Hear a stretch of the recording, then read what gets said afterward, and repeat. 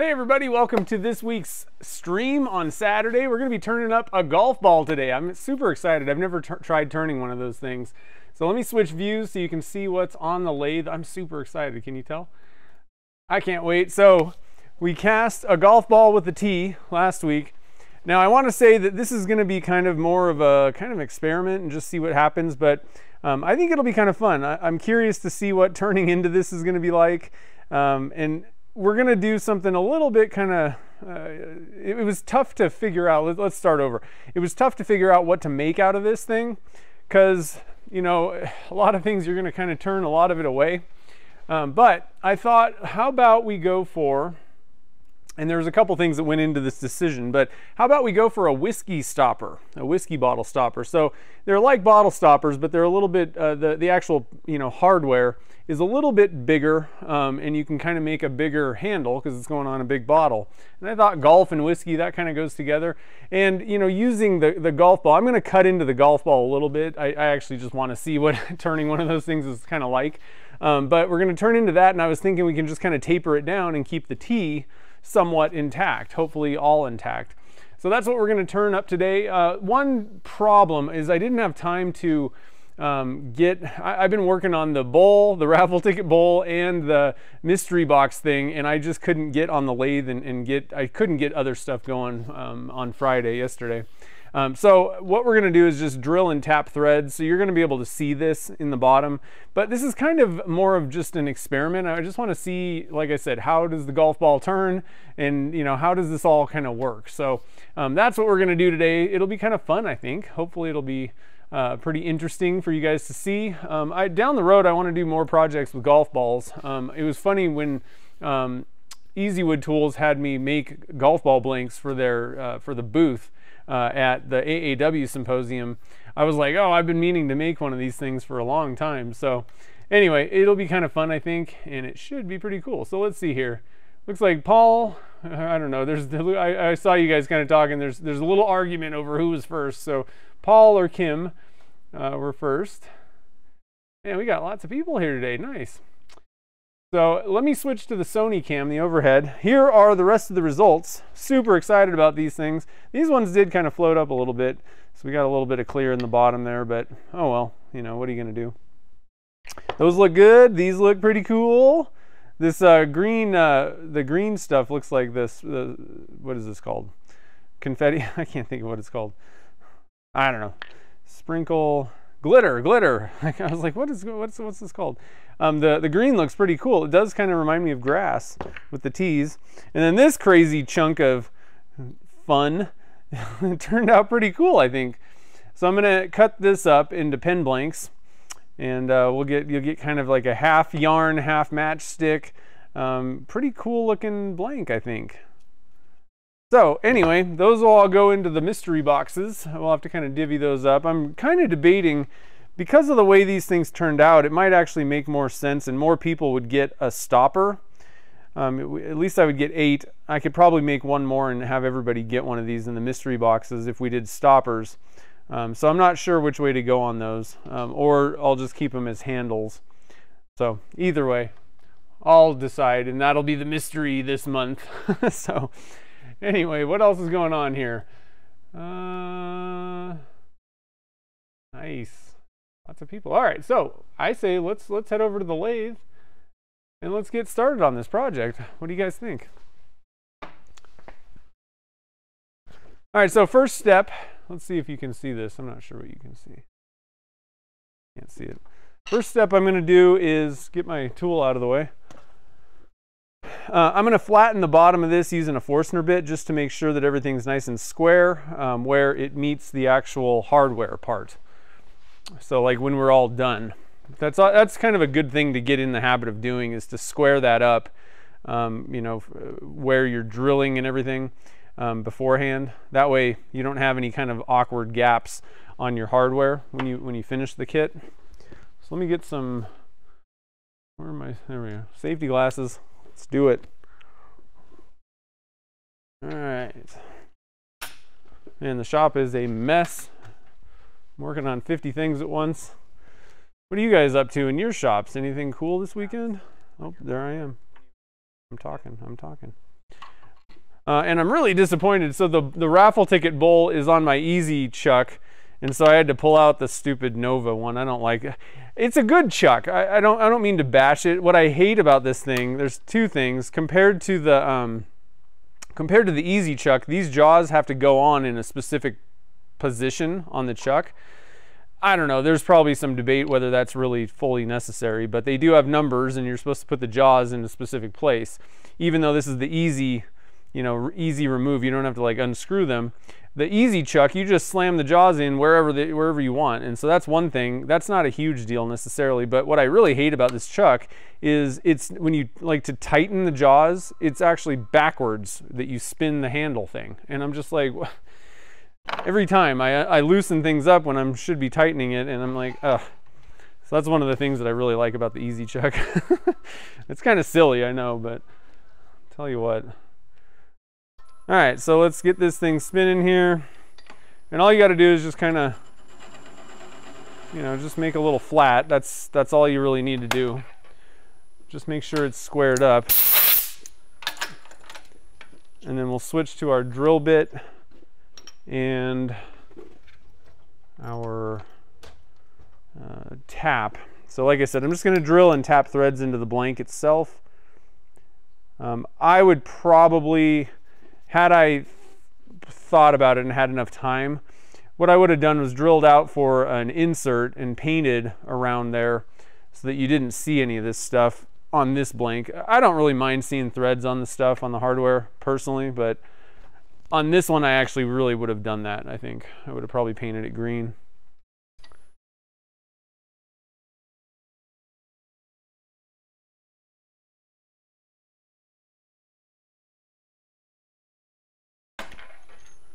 Okay. And this is a 5 16 bit that I'm using.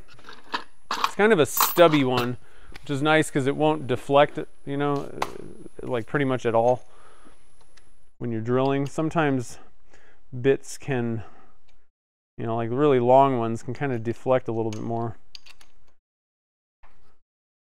All right, and we got our tap set up.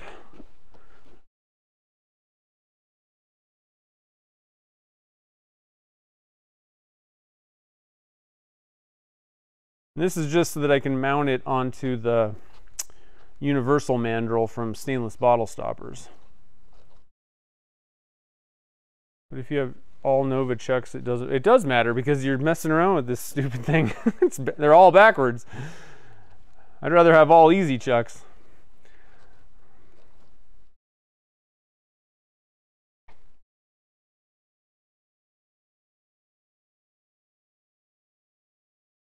And it doesn't solve the jaw problem. They still have to go on in a certain place. So, uh, like I said, I, give me the easy chuck any day. I think it's much nicer. Personally. If you already have a bunch of, you know, Nova chucks, it's not like I would recommend you go, unless you're like me and are just fed up with the reverse threading thing. Um, I wouldn't recommend necessarily going out and replacing it, but if you're looking for a chuck, I would just go straight to the easy chuck. I think it's a much better option. All right, so let me double check and make sure. Should be good, but I just want to make sure that everything fits. I do that before I start turning. You want to make sure that the, the mandrel is going to fit in your threads and also your mandrel is going to thread up on there. Before you start turning, I mean, obviously you'll find out real quick that it doesn't fit on the mandrel. But anyway. Let's see. So this one's a different bushing than the bottle stoppers, I believe. That one looks pretty good. Okay. Thread that thing on.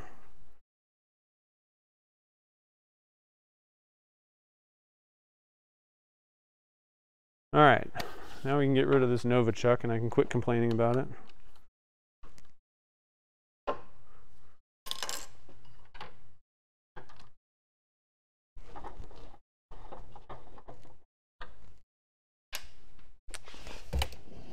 Back in the dungeon you go.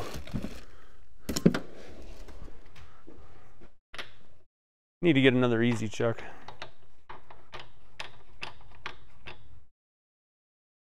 You have a Nova chuck for every set of jaws, it doesn't matter. But they still need to go in a specific place on that chuck. They're numbered. So you still have to take the time to do all that messing around. I don't I don't really understand what where what what's going on with that. Maybe I don't understand, but either way, I still like the easy chuck a whole lot better. All right, so now, again, what I'm going to do is, uh, you know, I'm going to end up having to cut into this, but what I want to do is kind of, you know, we'll probably cut, take some of this off. I also, um, this blank is probably a little bit soft as well because the jaw is really kind of dented the heck out of this. Um, amazing clear cast, I would probably wait, even on a blank this size, I would probably wait a little bit, like give it a, I don't know, five days maybe. Um, so we, we cast this on Wednesday and uh, we used Amazing Clearcast, but tip like compared to Alumilite Clear Slow, this is another reason why I like that. That stuff hardens up. The cure schedule on urethane resins is it gets really close to, you know, like like the, the cure shoots up, like the curve. You know, like epoxy is like an even gradual cure time. So, you know, it's gonna be 50% cured if the full cure time is seven days, in three and a half days, it's going to be 50% cured. In seven, it's 100, and it's just a straight line. Whereas urethanes, they go to like 80% really quick, like within a day or two, and then it kind of tapers off a little bit. So it's kind of more of a different type of curve line, right? So epoxies, that's one of the things, is they're going to take a little bit longer sometimes to get fully cured. Um, and in this case, it's a little bit soft, so we'll have to see how that works, but I think it'll be okay. Not super soft, but...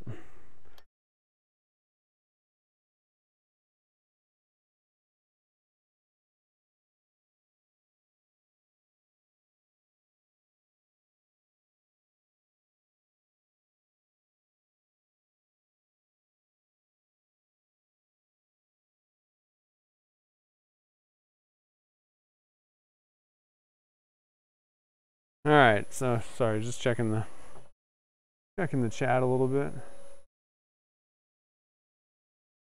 I'm going to be using the mini finisher. I mean, this is my go-to tool. You guys see me using this for pens for I mean, I was using this on the bowl. It works for for a lot of things. Um, the only the only issue is if you need to get in and hollow something, this thing really only you're only really supposed to hang this off the the tool rest this far. So, you know, you need longer stuff. But for smaller projects, this thing, the, the mini finisher can handle so many different types of things. All right, so I'm going to turn the air, the, the dust collector on now. Hopefully it won't be too loud.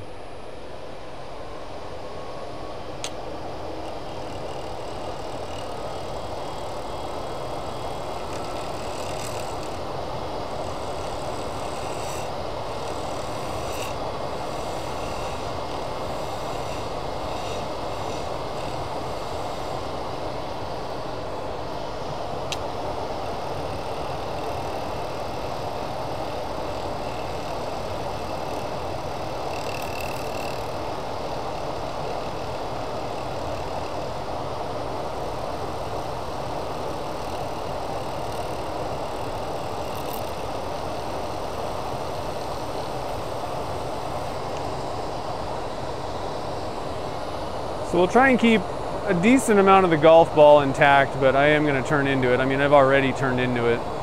Um, and then just kind of taper this down.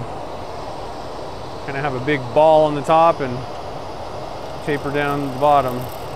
But at least the tee should be mostly intact.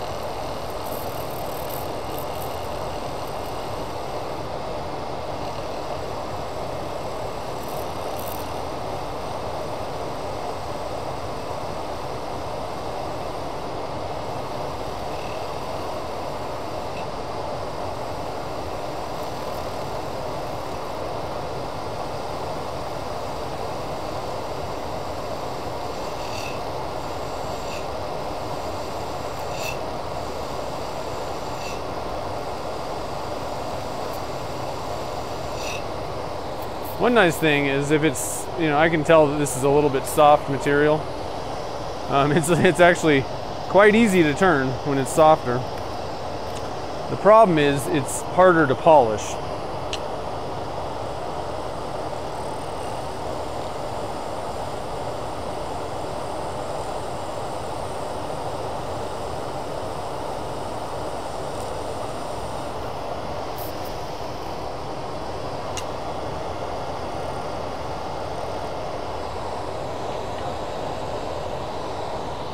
Just in case, I don't know what the, the gription is. I'm gonna get the face mask on when I start turning into this golf ball. Just in case I, it's a four situation.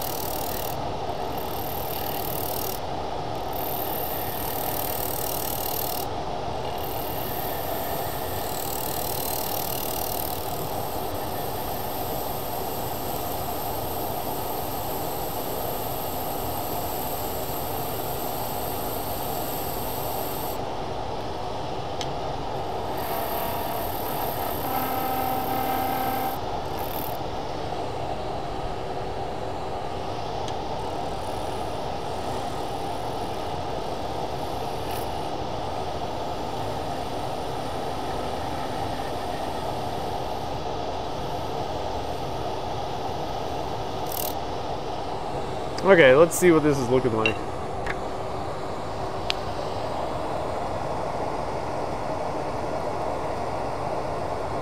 kind of rubbery where the, the golf ball was.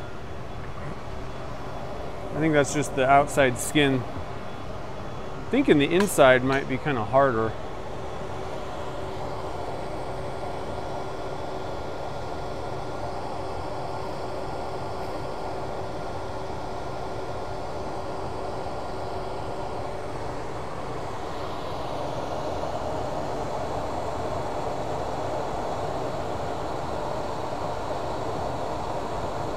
And uh, one thing to note, these are not like Titleist golf balls. They're a little bit different. These are mini golf balls. So I don't know if the outer skin is going to be, is would turn different on like a Titleist or a Callaway, whichever one you want. Um, but I mean, it's turning okay. It's just, I don't know. Pretty rubbery.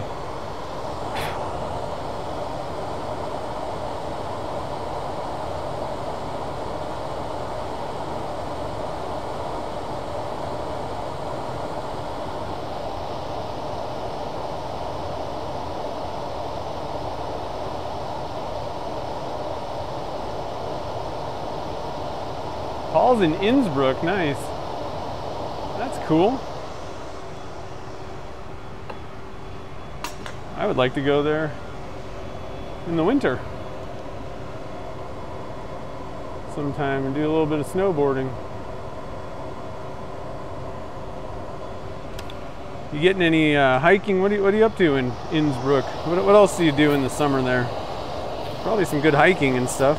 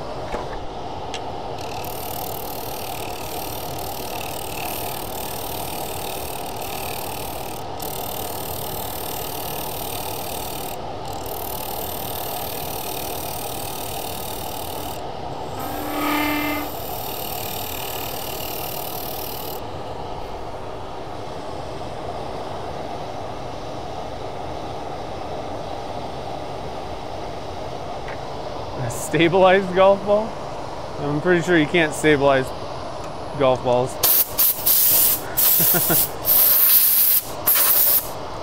it's just a mini golf ball. Dunked in resin. Yeah, definitely gonna have to put a finish on top of this because it's just not awesome material.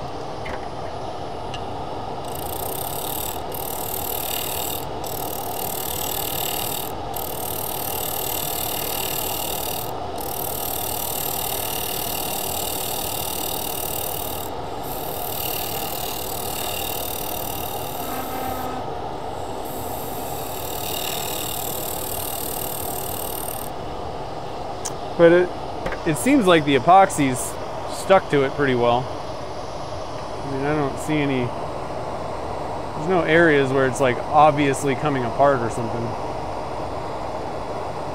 You know?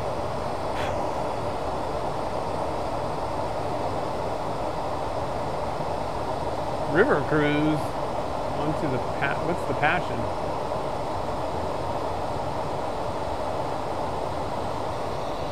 I don't know passion is. Passion play. Still don't know what that is. That's pretty cool though.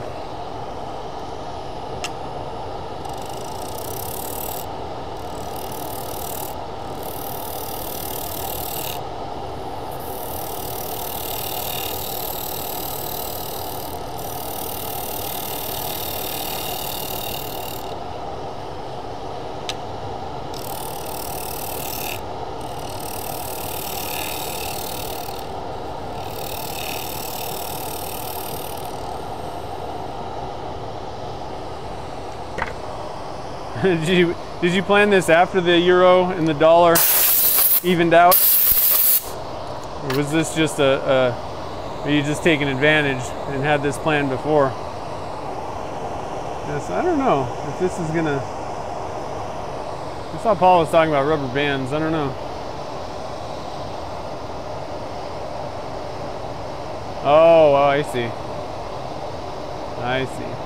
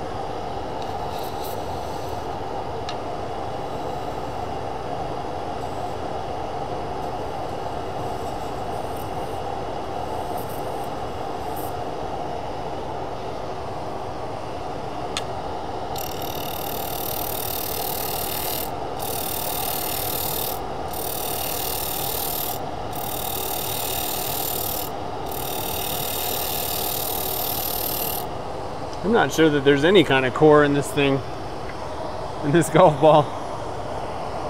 Don't seem to be, the, the material doesn't seem to be changing a whole lot. Again though, th these are mini golf balls, so it might just be kind of like solid all the way through.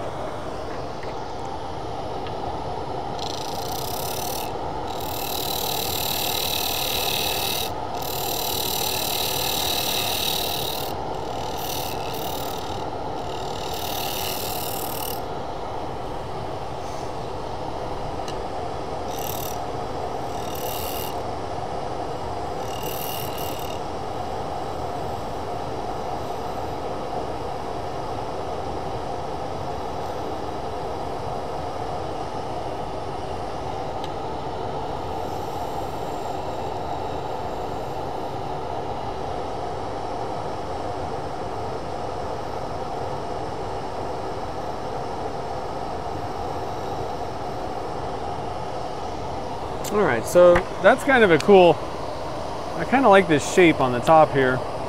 Um, but like I said, that I don't exactly know if We're really gonna have to cover that up with something. I think.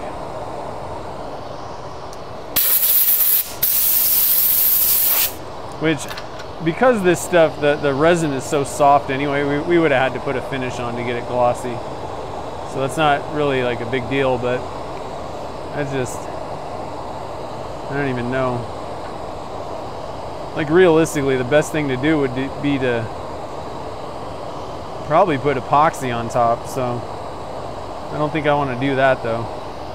We might just load it up with a bunch of UV resin, and turn into that possibly.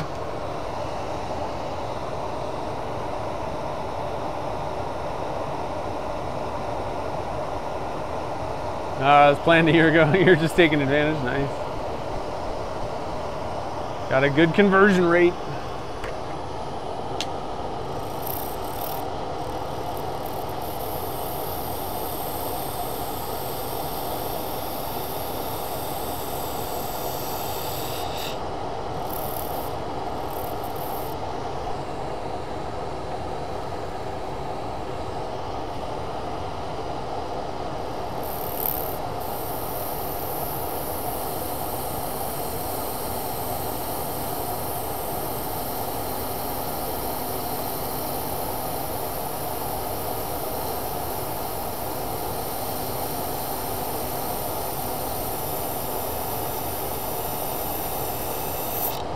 Really take a big bite with the resin being on the softer side. Just really hog material away.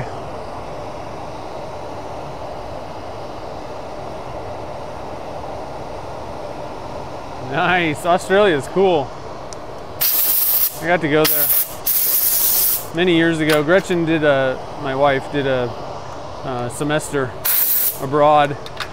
So we went to uh, Actually, we went to, um, where did we go? Um, Cairns.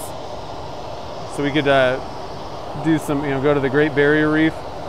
And then we also went to New, uh, New Zealand. We went to Auckland. It wasn't, uh, that just was a bad decision. It was a nice city, but I wish we would have done something else instead, or at least switched. We ended up in Auckland where I would have rather started in Auckland, done that, and then, because it was really cold and rainy, kind of like San Francisco weather, or I don't know. I don't know about that, but it was cold and rainy, and uh, and then you know like if we would have gone to the tropical paradise part, because Cairns is way, you know, much further north. Um, I think things would have been nicer to end on that instead of Auckland. But either way, awesome people and good food and fun times.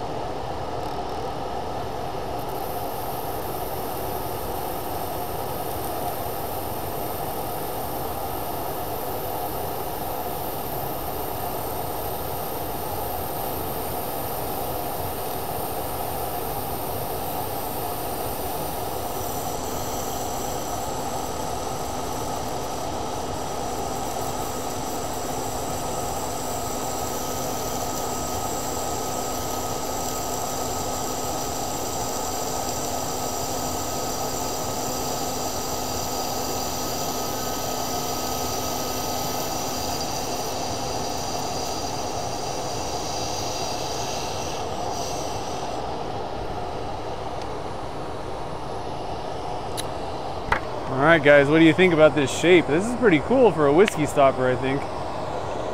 Kind of reminds me of like a tap handle even. Let's get you guys in the front side. See what's going on over here.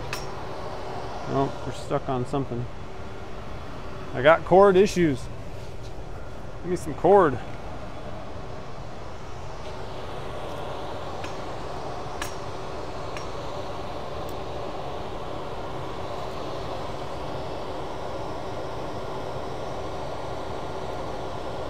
Look at that. It's pretty sweet, huh? Still got a little ways to go on this.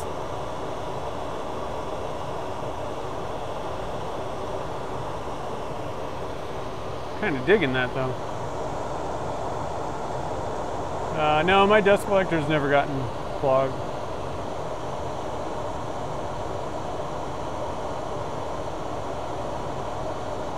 This one's not rubber bands. These, again, Paul, these, this is a mini golf ball. I, I, I don't, it's not like you need a lot of rebound with those, so they may actually be just completely, you know, solid material. I can't imagine they put a lot of work into making mini golf balls. So I'm thinking the cores might be quite different. I don't know though. I, I really don't you just never know these days what anything's made out of.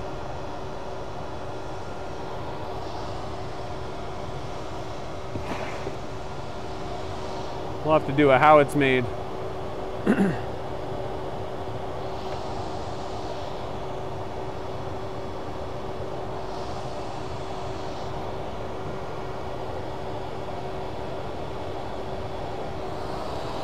All right.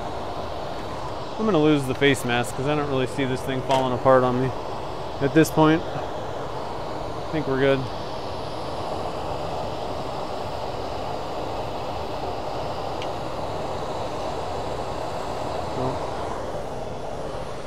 lost my dust mask.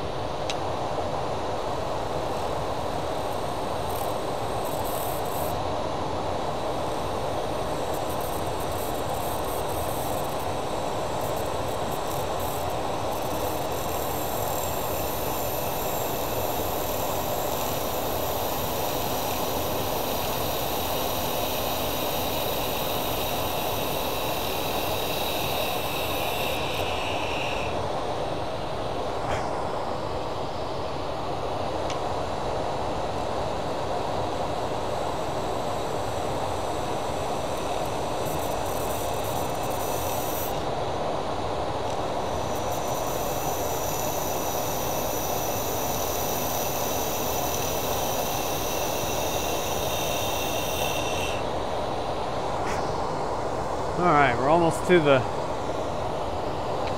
to the bushing there, but I, I think I want to taper this down a little bit further.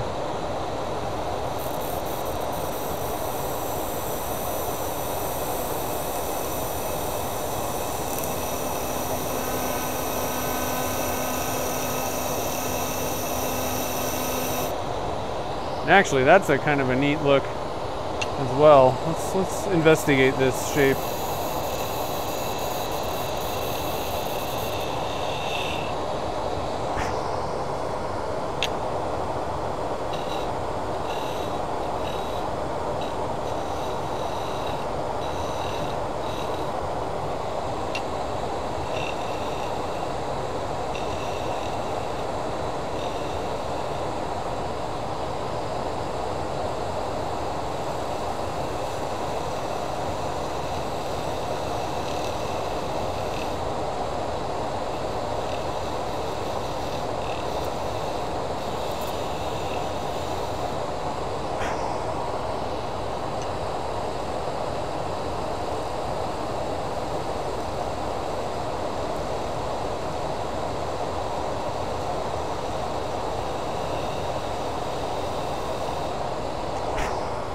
Okay. Pretty cool looking shape.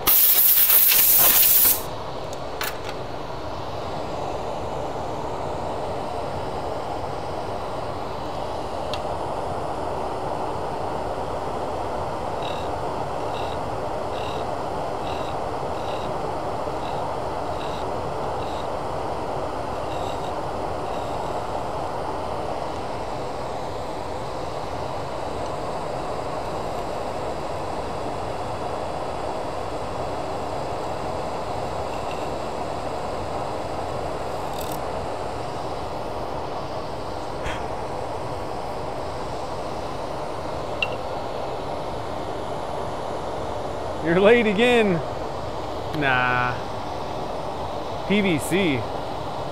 Ah, you Googled it, nice.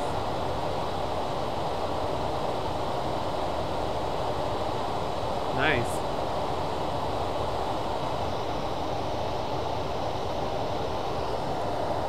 Dave Sloan's here. What's up, man?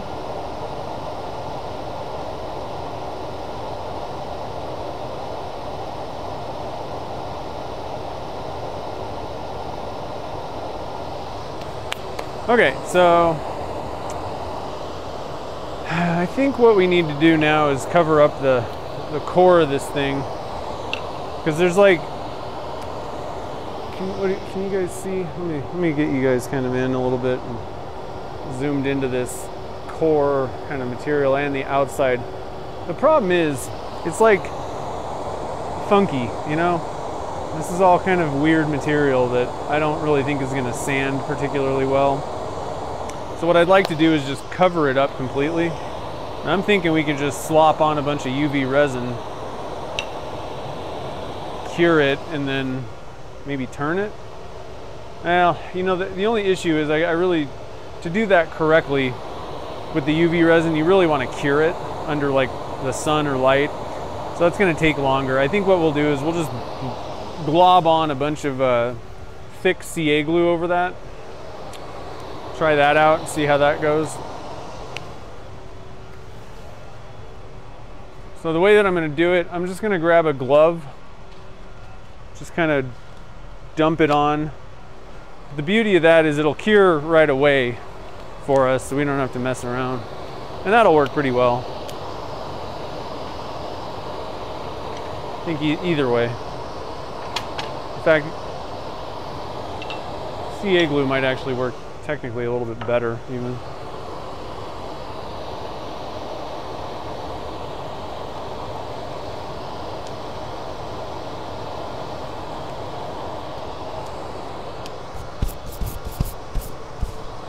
Um, these these are full size balls. It's just it's for for like putt putt golf. They're not smaller than normal. They're just not for real golf. I don't know. I, I haven't. I've seen people turn into them. I, I guess I never noticed how far they went, but I've never actually seen rubber bands on the inside. I don't think offhand. Like some of the new ones, anyway. They seem to have like weird cores, but you know, maybe there's something inside of this. It's like a multi-layer kind of thing. All right, so let's turn this down. I'm just gonna, you guys are probably way zoomed in. Right in the way, yeah.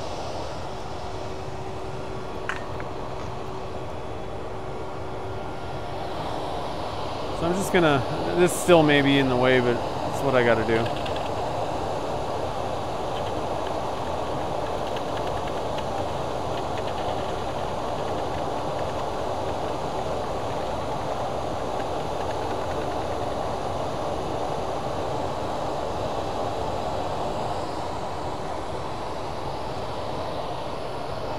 So that worked pretty well.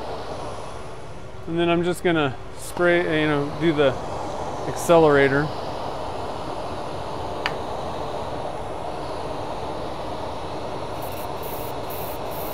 We'll probably do another coat, maybe two more actually, because we really want to build up, you know, a layer over that stuff.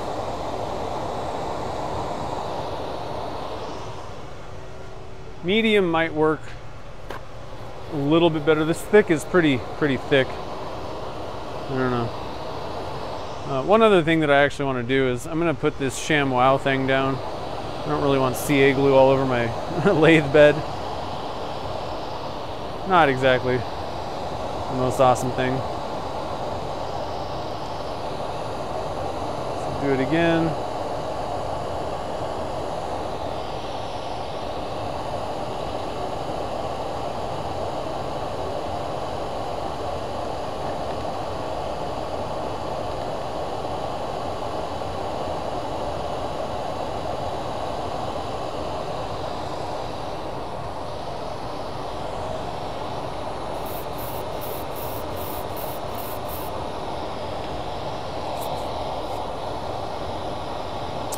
Uh, that's a good Chris, uh, question, Chris. Is it Chris Chiz?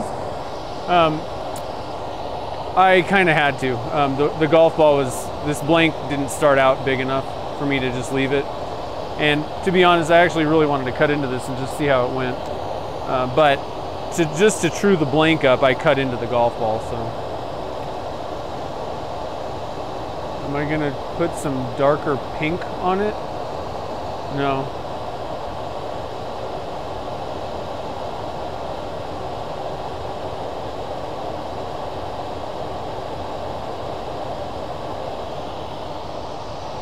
Just gonna leave it. I'm not, like I said, this is, I'm not particularly worried about this project. It's kind of more of a, just a, for fun. I want to see how the, this golf ball turns. I'm not that worried about the details on this one.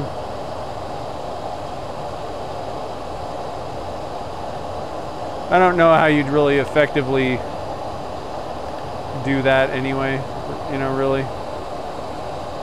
And actually have it work right. It's not like you can really blend in those two it would be almost impossible to, to like color match the skin, you know, or whatever the out, outer coating covering of the ball. So I, I, I think it would be a kind of a fruitless endeavor.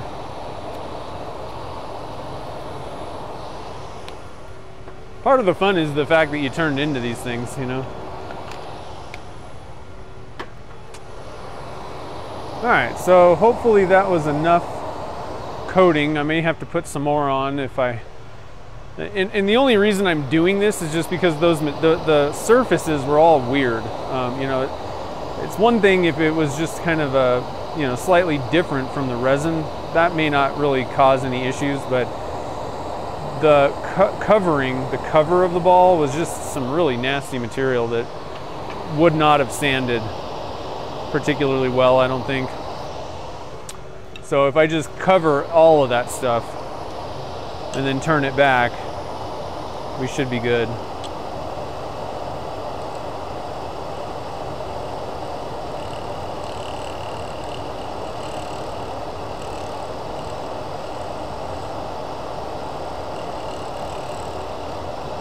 And I am going to put a, a, top coat on the whole blank probably, but I just want to get like a base coating over that cover and the ball part.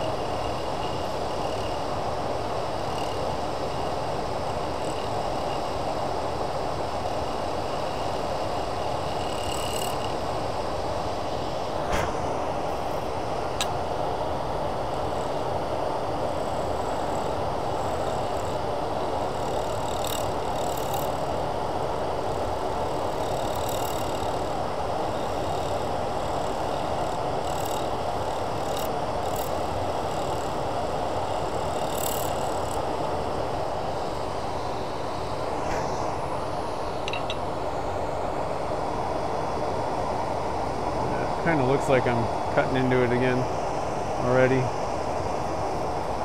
We're gonna have to put, probably do multiple coats. I'm gonna switch, I'm gonna try the Mercury Medium Flex.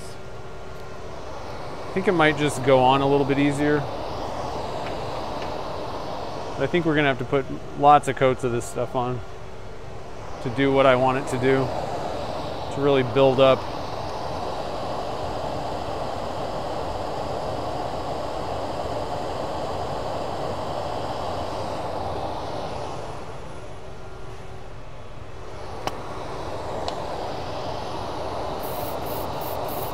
I want to build it up to the point where I can like turn it back and leave, uh, you know, and still have CA glue between that and the ball. Kind of like a finish, but we're just like pre-finishing it.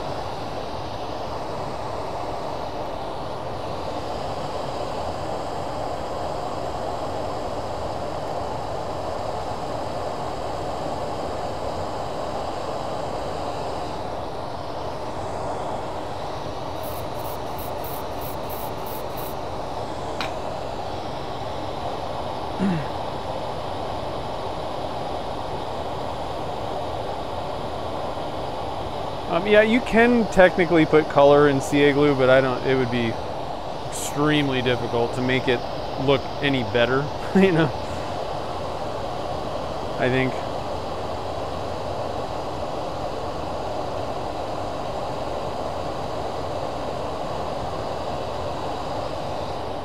I don't think it's going to really add a whole lot of good to it.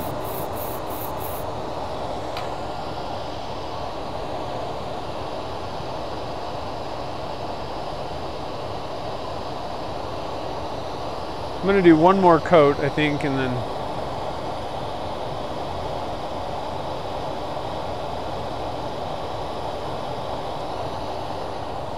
I'll try and turn this back a little bit.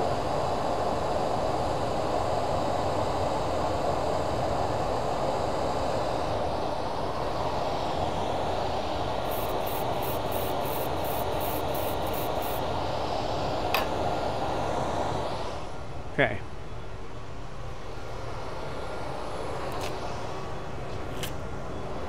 Let's see how we did now.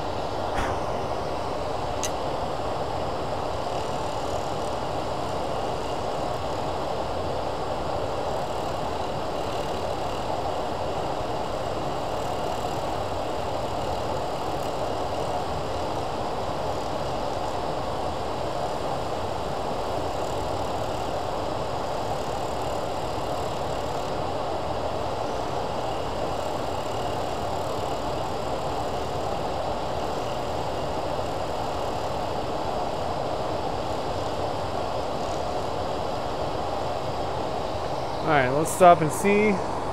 So far, it's been pretty good. That's definitely, there's a little bit of something there. I think we might have got, I might have to do one or two more coats after I get this thing all kind of cleaned up, but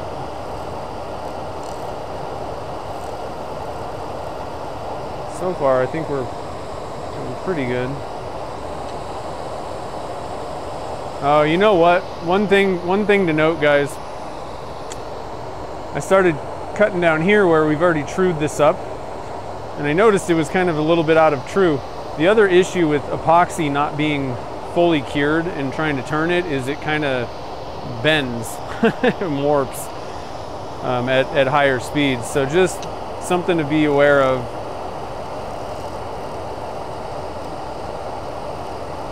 Yeah, this stuff down here is out of whack again.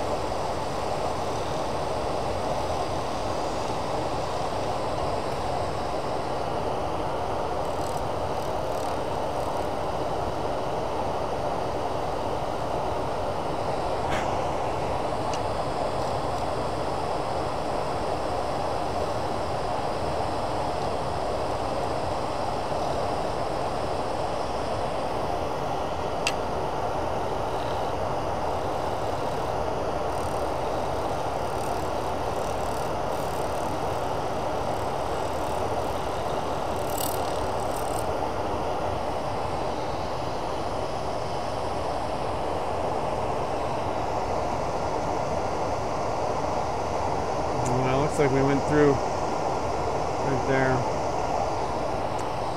All right, so at this point, I think what I'm gonna do, we'd have to coat this with so much stuff that I think we're just gonna move on and start sanding and then uh, put a finish on top.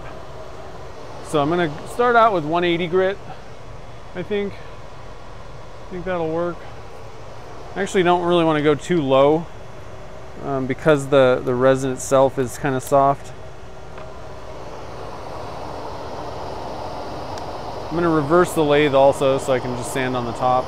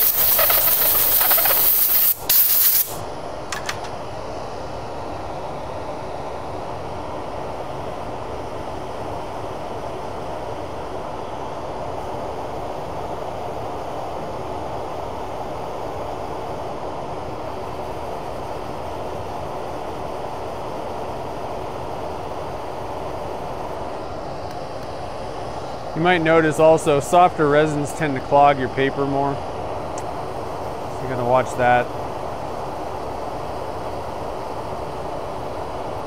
You know what, I'm gonna, we're gonna go to 120 because this is taking forever. Just to get the tool marks out.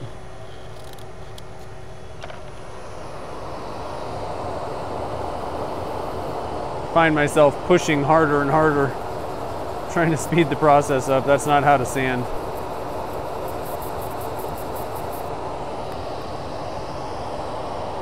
Not how you want to do it.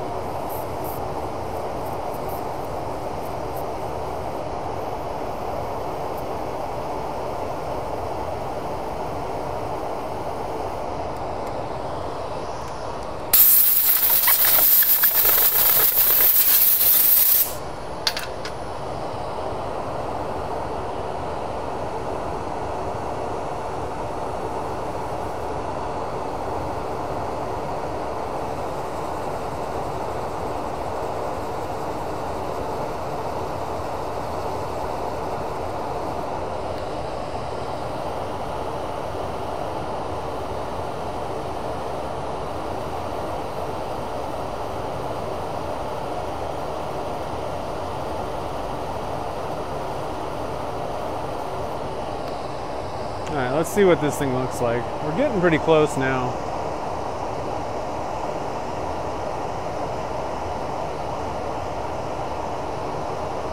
Might actually start uh, building up some more layers of um, finish soon. I think I'm gonna try and get this uh, this end part kind of turned a little bit smoother before I start sanding it. I think I can do that. Let's let's put it on forward.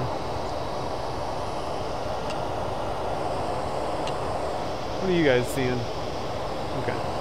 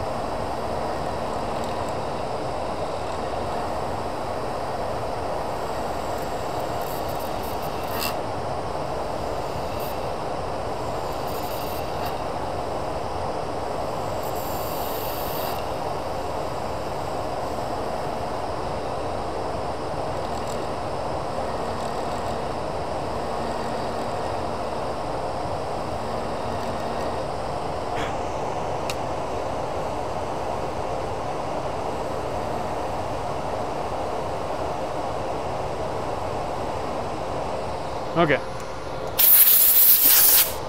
Let's see what we can do with some sandpaper this time. Oh, I lost my sandpaper piece. There it is.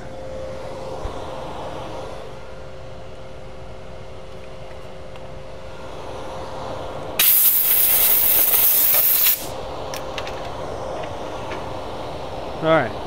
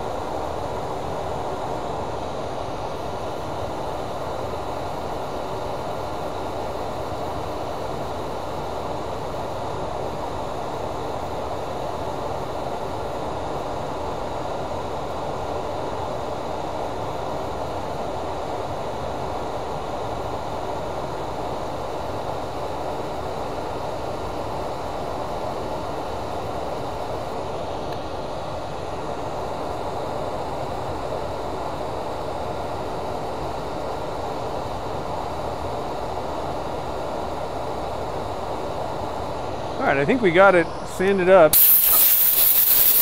120 at this point pretty well. There's a few little low spots, but I'm just gonna cover that with uh, some more CA glue.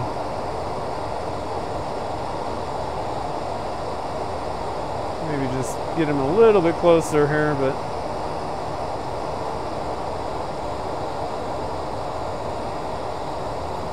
I think I think it'll be easier to build more material on top than keep sanding at this thing.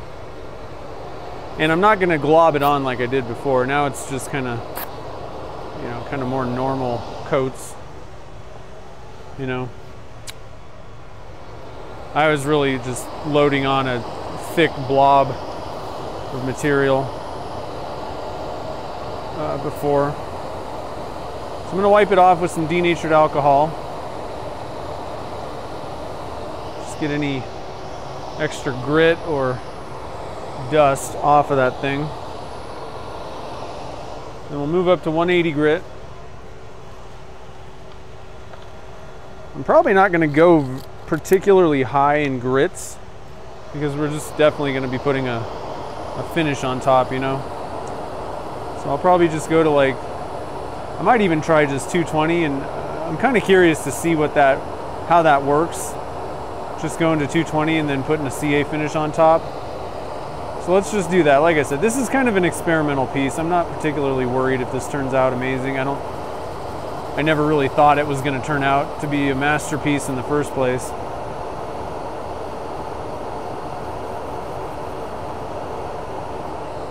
We'll just call it practice experiment, you know? Mark's here. What's up, man?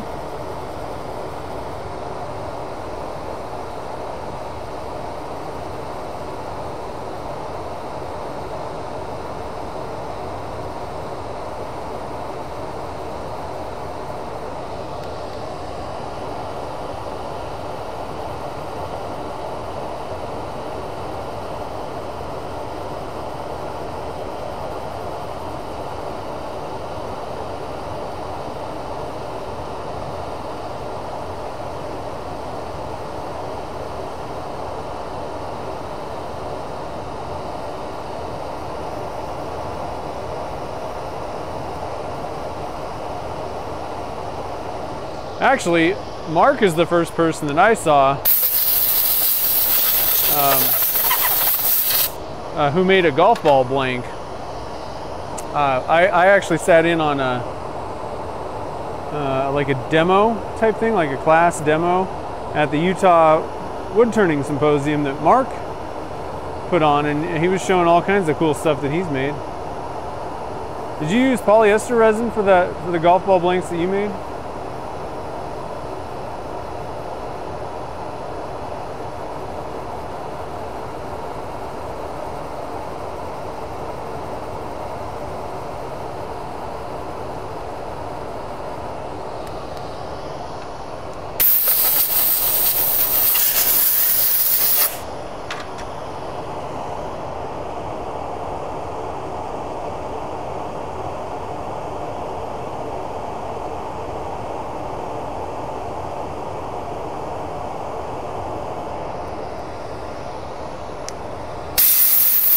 Oh, you use Alumilite too. Okay. Uh, I guess technically I used Amazing Clearcast on mine. Nice. Did you, uh, I forget, did you scuff the balls up at all? Before you cast them?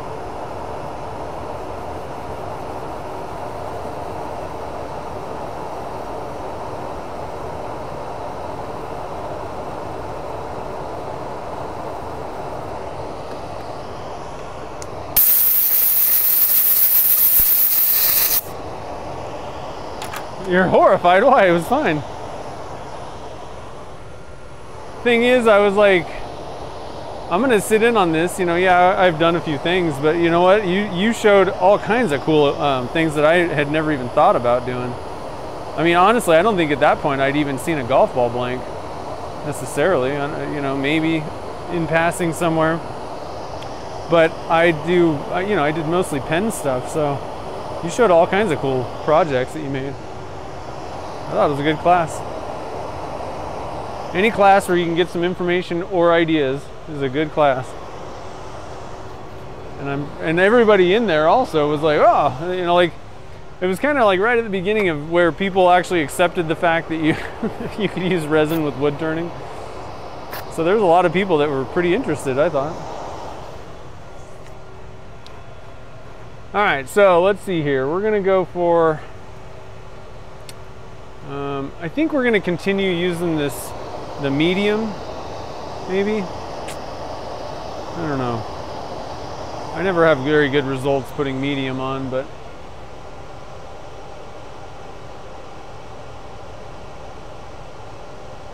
UV resin wouldn't be a bad way to go on something like this, but oh, I just dropped the glue. Not good.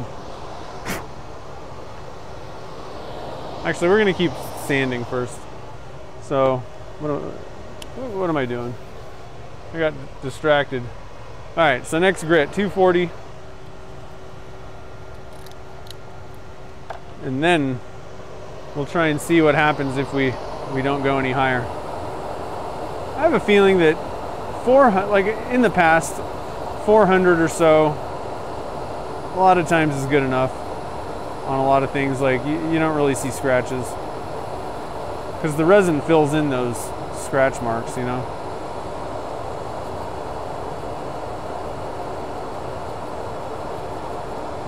The big question is, you know, did you get all the 180 grit or, or lower scratches out? I think that's more of the problem. But we'll, we'll, we'll see if 220 looks okay.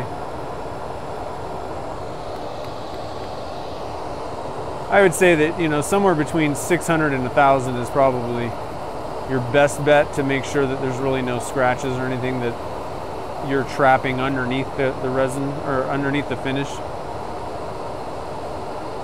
But you don't you really don't need to go any higher than a thousand.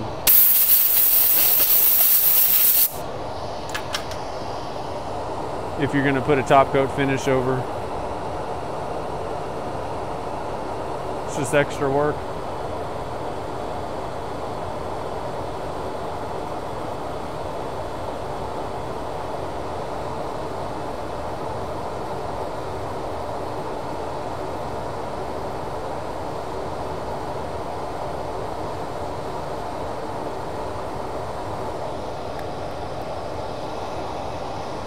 Oh, nice. The Cholla cactus blanks turned out good. I am glad to hear that. Yeah, those ones are fun. I, I, I like casting Cholla. Really makes some, some really cool looking patterns and shapes and glad to hear that it turned out good. All right, so we got some 240 grit going on here. If you're just joining the fun, we cast a golf ball and a golf tee last Wednesday. And uh, we're, we're, I wanted to turn this up and just kind of see. We're making a whiskey bottle stopper out of this. But it's kind of just a, for fun project. I wanted to turn into, it, it's actually a mini golf ball, like for like mini golf, putt-putt golf. So it's a little bit different than if you went down and bought a box of Titleists. Um, the, like the core, the inside, I think is a little bit different. It's just kind of a solid one piece kind of thing. Where I've seen other people turn golf ball blanks where there's quite a few like layers almost on the inside of a lot of these things. So it can be kind of cool. Um, I used a two inch PVC pipe, so this this isn't the greatest golf ball project. Um, I would go for like a four inch PVC or something like that, where you can actually see a lot more of the golf balls inside. But I thought it'd be kind of fun just to kind of see how these things turn out. And then there's a golf tee underneath it, and that's definitely visible. You kind of see that in the yellow. Uh, but the golf ball like skin was kind of nasty, and so didn't really want to sand or even turn that well. So I'm trying to kind of, we're going to put a finish over top of this whole thing. All right, so 220 grit. You know, you can definitely still see scratches and stuff in the blank, but I'm kind of curious to see how this turns out. So we're going to put a finish on top of that. Typically, I'd go up to at least like around four to 600, but I'm just kind of curious to see how this turns out.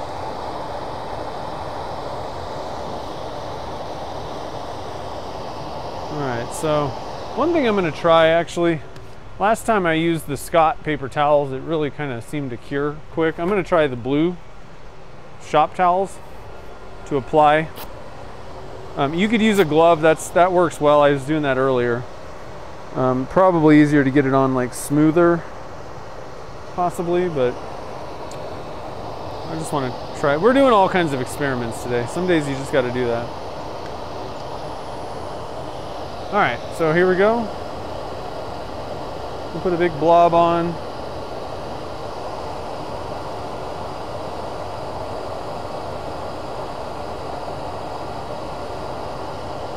A little bit more. See, this is this thing's a little bit on the large size, the long, you know, especially like long.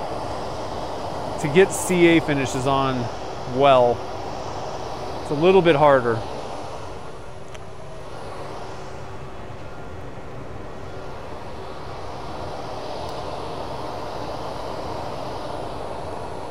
I, it's harder for me for sure.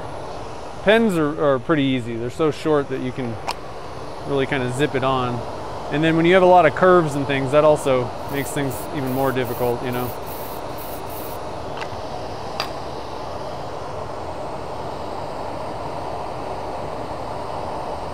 You can see the golf ball a little bit down there. It's kind of cool. It's not too bad. So let's keep going with this finish here.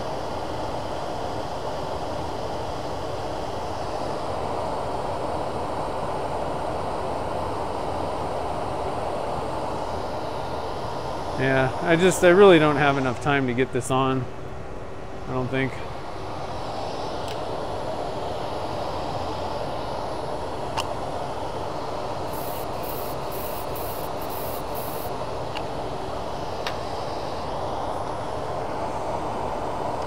Might have to switch to UV resin. In fact, I think I'm gonna. Just, I'm having a difficult time getting this to lay down smooth.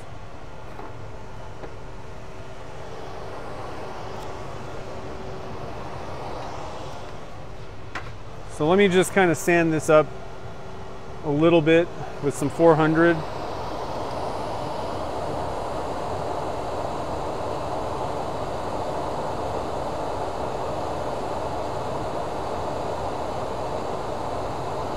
To get rid of any major ridges or weird things that I kind of put into it.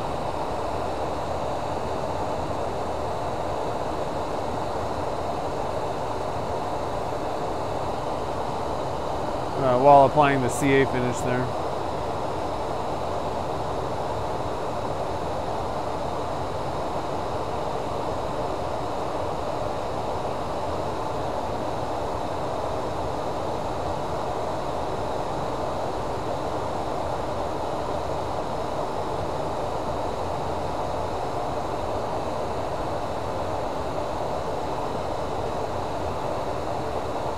Another finish that can work pretty good for like medium size or larger things is craft coat.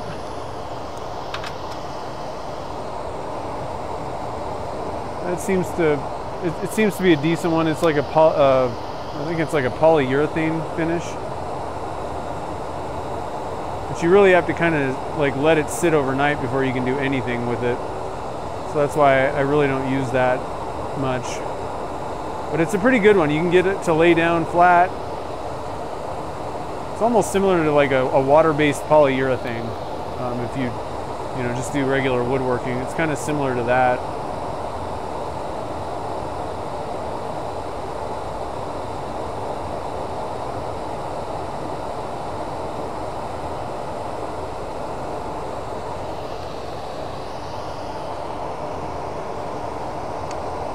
Actually, I don't know.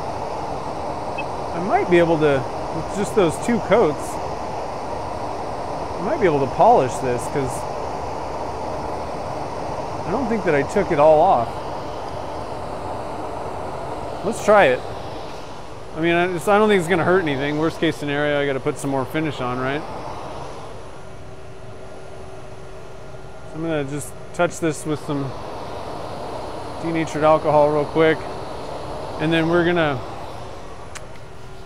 um, I'm gonna go with the I have like a 500 grit pad here. And I'm just gonna kind of quickly smooth this out.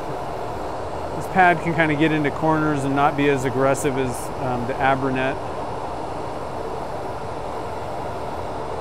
just kind of smooth this up but I'm thinking we might be able to actually get this stuff polished the way that I put it on. Let's just see. Again, I'm not going for a masterpiece here anyway. See what we can make. I'm gonna wipe that off and then we'll start wet sanding and then we'll uh, might even try some magic juice polish today on, on a larger kind of piece. All right, so let me stop and read here. Yeah, see, I've found that it typically will backfill scratches, but sometimes you kind of also trap scratches underneath, and I don't know what, how, you know, how that works. But, uh, you know, in the woodworking world, if you put a finish on, you're going to scuff between coats with like 320 grit, you know, so I mean, 220, 320, something like that, 400. So, you know, I'm just kind of curious. I think two, 220 is a little bit low. Um, four to 600, I think that that that seems to be the sweet spot. Um, much higher than that, and you're kind of just wasting time, I think. Um, you know, I don't think it's necessary really. Um, 220, I think that might be kind of pushing it. but we'll see. We'll see what what it looks like.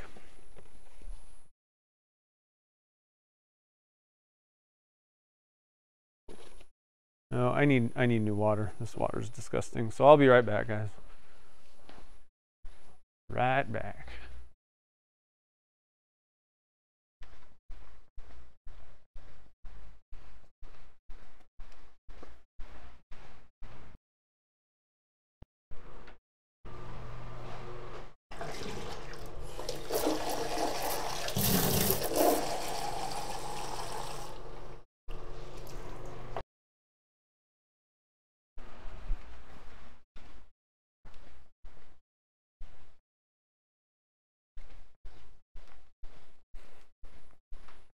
All right, we got some fresh water.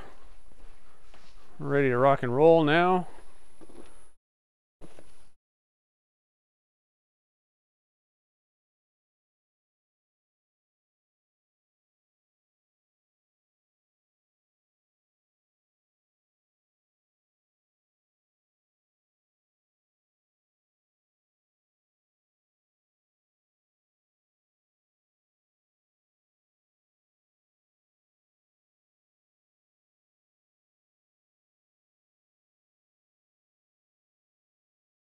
Uh, I've never used a melamine finish, no.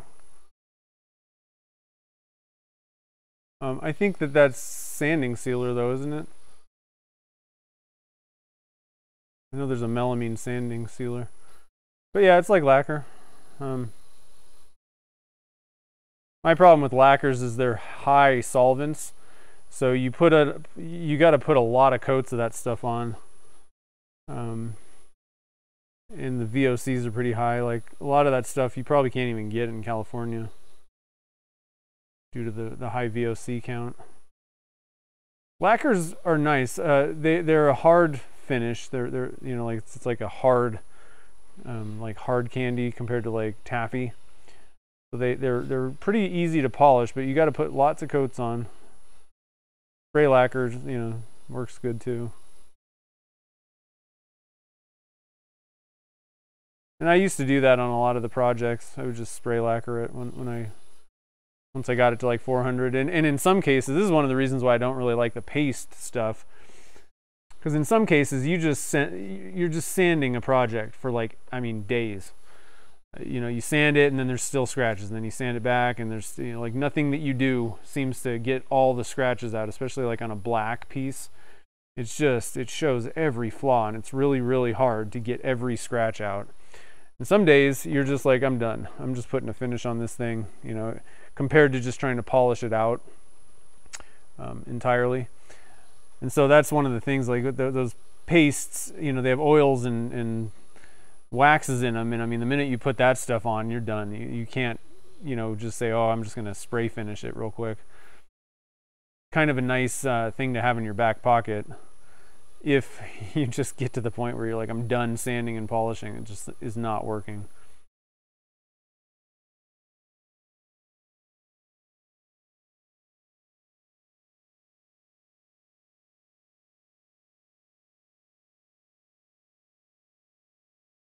So there may be a couple little areas on this where I didn't really get a lot of finish on.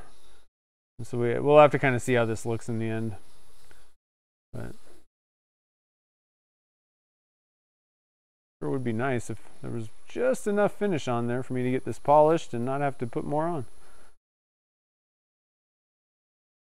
All right, I think that's probably fairly good. I'm guessing we'll probably see a few little scratches here and there anyway, but from the, the 220 grit possibly, you know. I'm putting a moderate effort into this, let's say. Kind of curious how this turns out again, you can always chuck this thing back up and and you know put another finish on or or you know sand it out or whatever. So that's kind of the nice thing about these like stopper type kits where it's not like pens are a little bit more difficult where you know if you by the time you assemble it if you got to repair it you got to take it apart. With these all you got to do is unscrew it and move on you know not a big deal. Let's uh yeah we got a couple. We got some sand like sand through areas right there. Looks like but let's let's see what happens if we try and just polish this thing up. I think I'm gonna try magic juice on this and just kind of see see what we get.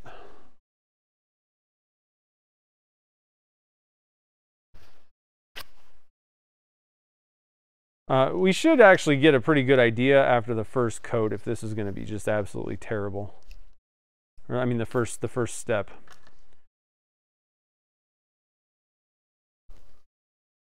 I'm gonna need more than that.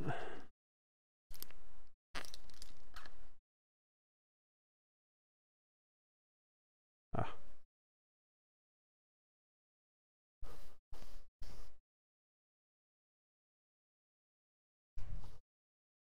There we go. Glasses on. Oh, we're going the wrong way.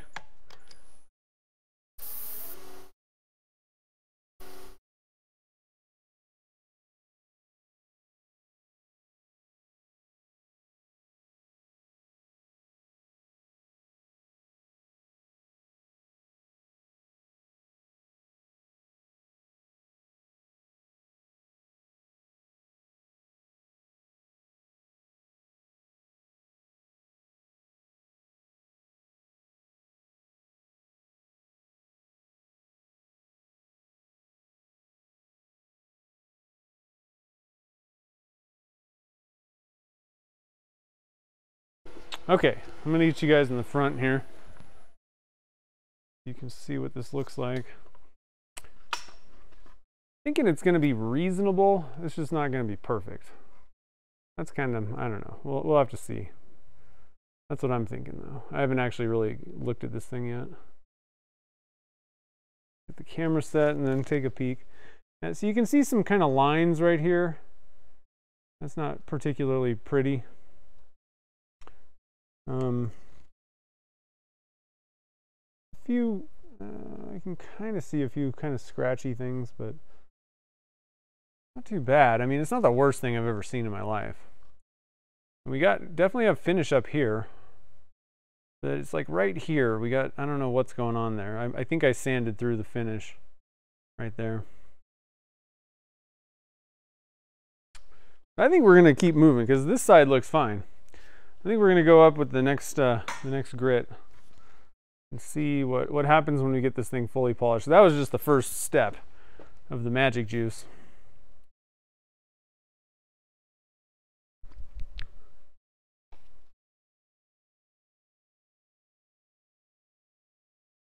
Let me get some bigger paper towels. Actually, another thing that uh, Michael said was that bounty paper towels, Mike, Michael Harden, are probably the worst ones to use with magic juice. And that's what I'm using, of course. We're gonna we're gonna switch it up. We're gonna go with the the shop towels. I think I believe he said these ones are maybe not the best option, but they're definitely not the worst. Let's go with step number two,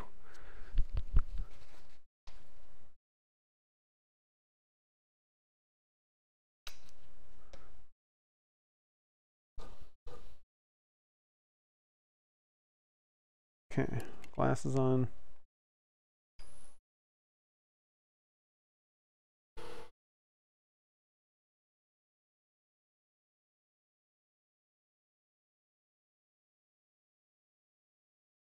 Kind of flinging it a little bit all over the place.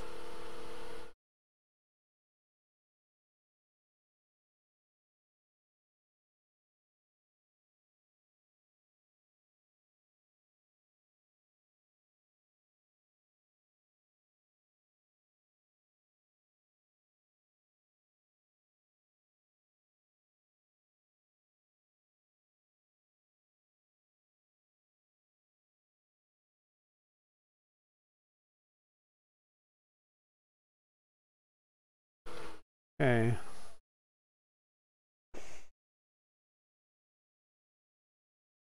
Another thing that might end up happening is it's just not as clear um, using the 220 or you know only sanding up to 220. That may be kind of a side effect of that too. You might get it a little bit more clear if you go higher. I usually get pretty good results if I go to at least 400. I, have uh, on pens at least. I've gotten pretty decent results. But you know, again, you, it's one of those where you got to make sure you know that you've gotten all the previous grit scratches out. It's 400 grit for sure. And you haven't really been pressing hard. Like you did a good job sanding, you know.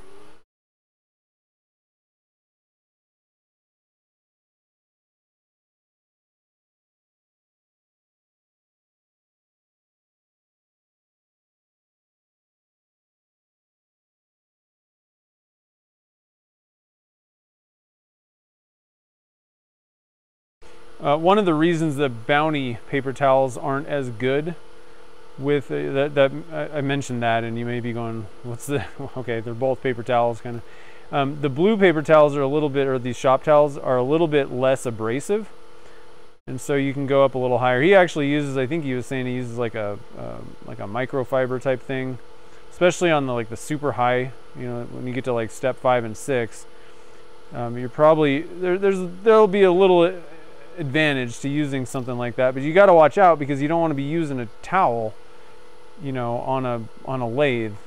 That can get dangerous real quick so I don't know. I think I'm good with paper towels with these you know these blue paper towels. I think that's probably fine. Um, if I could find something small enough where even if it did kind of catch it's not really gonna get you know cause an injury maybe but I'll, I'll kind of look into that and see if I if I if I find a good option for you know like a kind of a softer application thing um, I'll, I'll let you guys know Unfortunately, Michael couldn't do demos. They, he had all kinds of problems um, shipping his stuff. Um, he had a, a, something got like lost or something. A box of all of his like demo equipment, like was gonna show up like the day after the turning expo was like over. He's like, that's great. So he couldn't do actually do like live demonstrations on applying magic juice. It's kind of a bummer because I wanted to see you know his whole process. Next time though.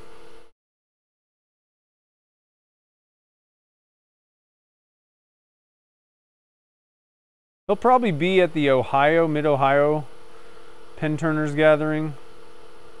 I think that's in September. If You wanted to see that? Might be there.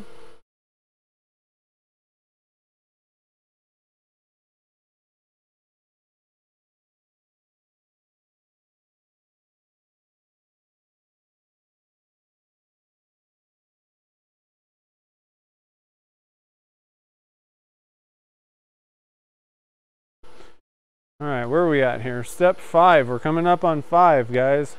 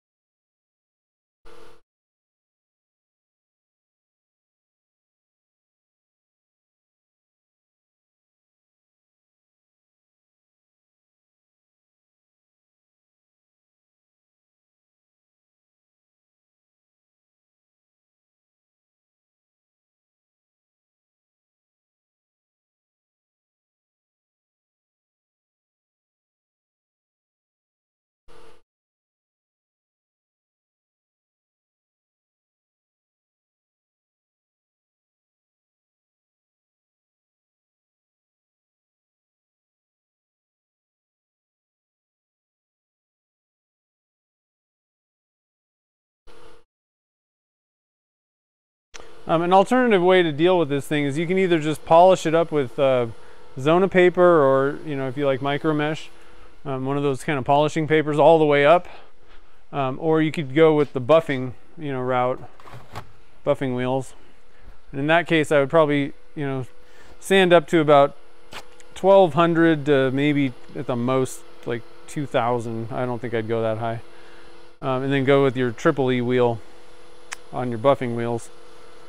You'll be good to go. All right, so step six, here we go.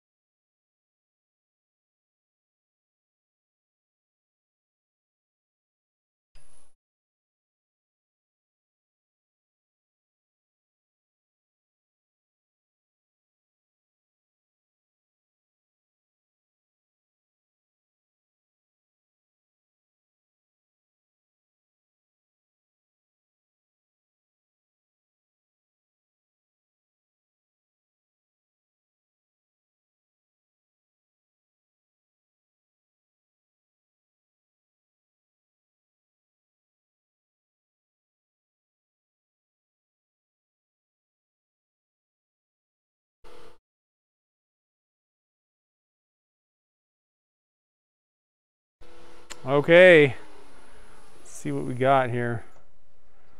Yeah, it's not bad. It's not bad, considering I put pretty much minimal effort into this whole thing. And it was never, you know, I never really had super high hopes that it was going to be amazing. That's not bad. So I'm just trying to look at this. I, I don't know. I mean, I think I can see some scratches. I, I wasn't, like I said, I put kind of minimal effort in. I think definitely you'd be better off going up to like at least 400. I think 220 might be a little, little low. Um, there is something weird going on right here, and I just can't figure out what I sanded through the finish. It seems pretty glossy, so I don't I don't know I don't know what that is. There's some kind of weird mark there. The golf ball looks kind of crazy. It's kind of cool looking. All right, so let's get this thing off the lathe and zoom out a little bit. So again, this is going to be a whiskey stopper. It's slightly different, same idea, but uh, just a tiny, tiny bit different size compared to a, oh, we need to get this, this end part. Now here's another problem where with, with a kind of slightly um, soft epoxy, um, once you take your tailstock support away, things can get a little hairy with epoxies. So I'm gonna, yeah, I think I think our threads. See, that's the problem. Um, you're you're better off with epoxies putting an inserted thread in. At this point, I don't think I can even turn this part. Um, I think it's just gonna wobble all over the place because my threads are stripped. But we're just going to leave it the way it is. Like I said, this was just kind of an experiment. Definitely go for the insert on epoxies. Um, it just, it, it kind of tears it apart if it's soft. And even when it's fully cured, some epoxies can kind of, you know, with, with a little bit of heat and stuff, some epoxies can soften up anyway. And especially if it's spinning fast, um, you kind of run into some issues. So let me let me just see if if I thread this back on. I don't think it's going to work too well. I just I just I can't tighten it, you know? That's the problem.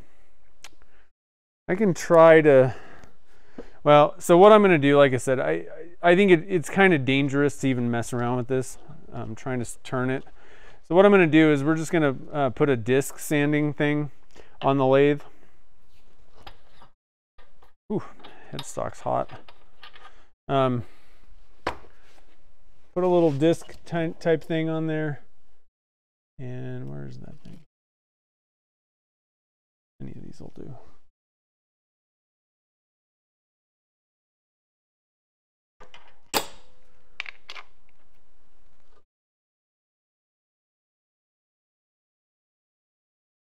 Okay.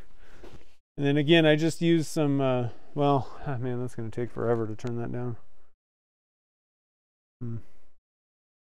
Or just, you know, sand that down. So let, we'll, we'll just put a little bit of effort into this.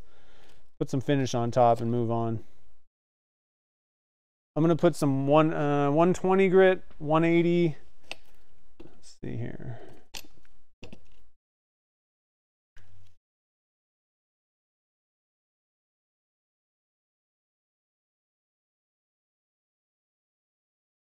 I need to get a piece of 120.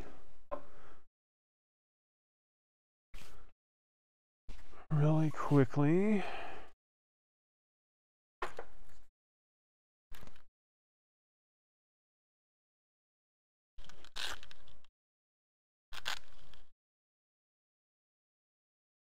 So all I'm doing, I, I, buy Abranet in these rolls. So I just cut off a little piece here.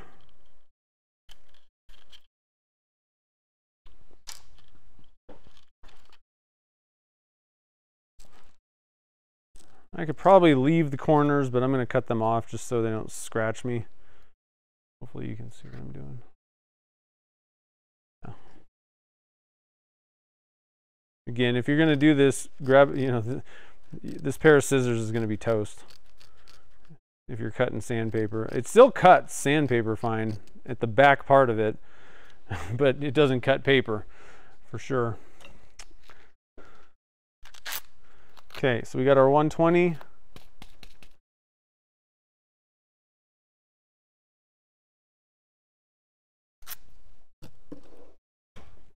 And at this point now we can just turn this thing on and just kind of sand. I'm going to turn my thing on.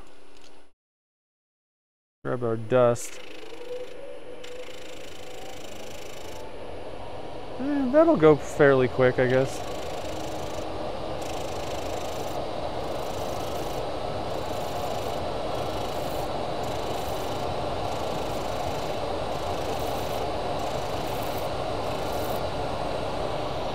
That's going. That's actually going pretty quick.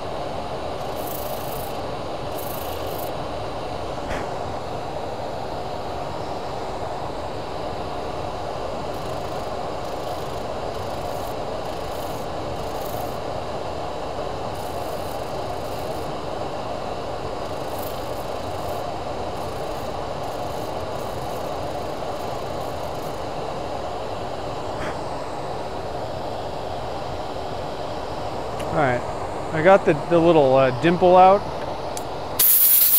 So I think I'm actually gonna move up to the next, I'm gonna go to 180. I'm gonna try to get away without having to refinish the entire top part of this because I already put finish and, and polish around there. So I'm just gonna try and kind of touch this up. Oh, we gotta go faster than that.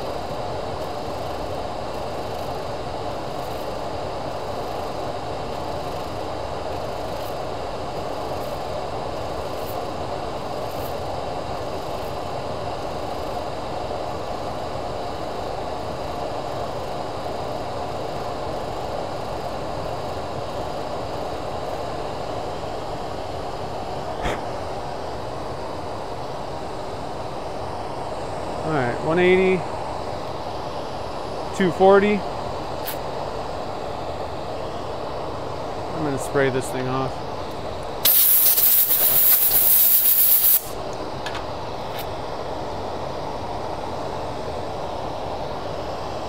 Uh, that's 120.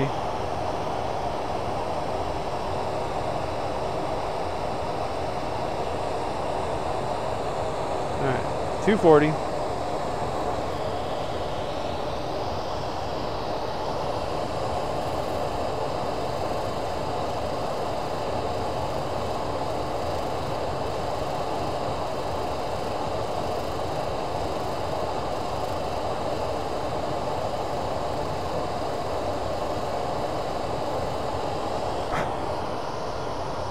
I know I'm not wiping it off either.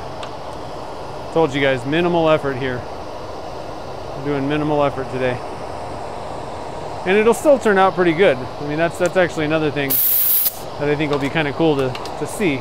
There's a bunch of mistakes and things that aren't ideal on this piece, but you know, a lot of people get kind of hung up on perfection sometimes. It doesn't really need to be perfect a lot of times.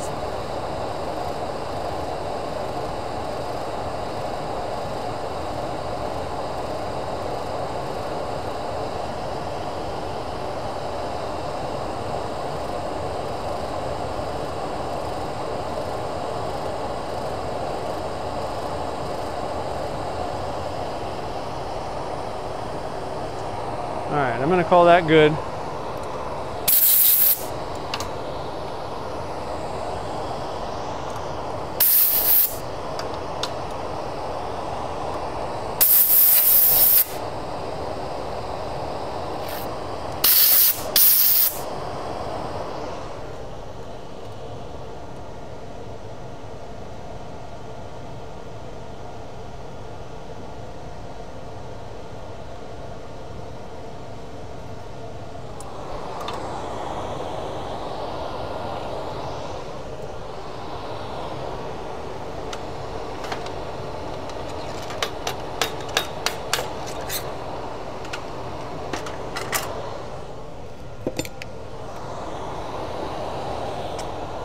So now I'm gonna wipe it off with a little denatured alcohol before we put a little bit of finish on.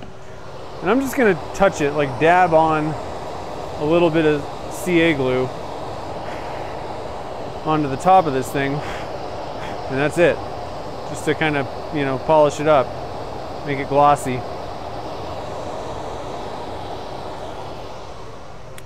So I'm going to grab a blue paper towel and I'm going to grab some of the Mercury Thin Flex. We're just going to kind of dab this on real quick. We're not even gonna, we're not even gonna like polish it. We're just gonna apply this, maybe one or two coats.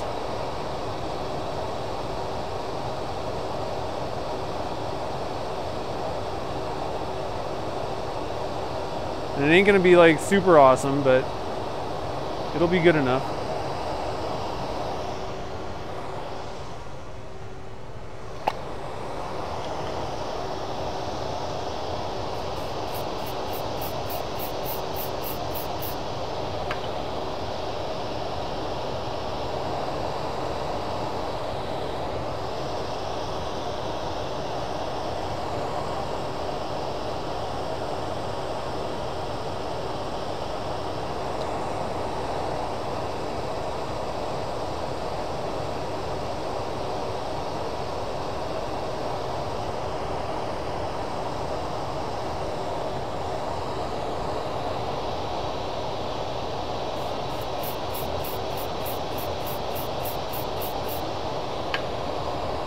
Okay.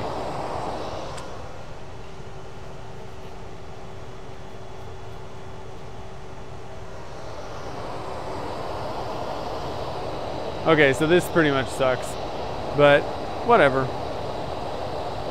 I don't really have any good way of, I guess we could maybe try and like sand, like turning on a piece of epoxy that's flopping around, that's not going to really work. But turn, we can maybe sand a little bit of this. Probably can't really polish it too much, but.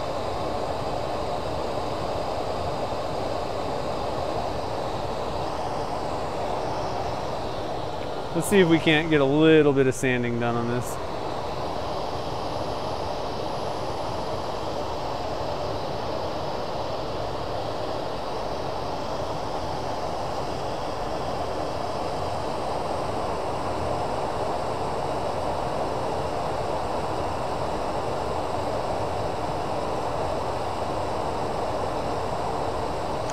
And then buffing wheels would be a better way to go. Once we can get this thing up to a certain grit level, then you can just take it over to the buffer. And, uh, so it is kind of good to have, you know, different types of things depending on what your project is.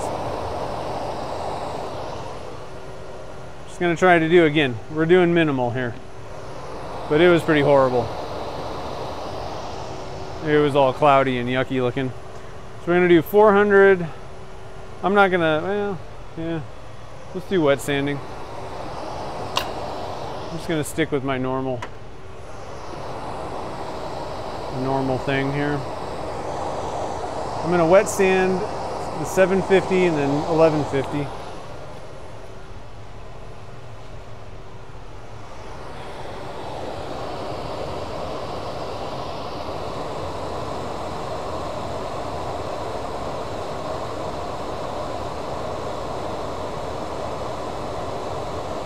I'm also not sanding a whole lot because I didn't really put a whole lot of CA glue on there.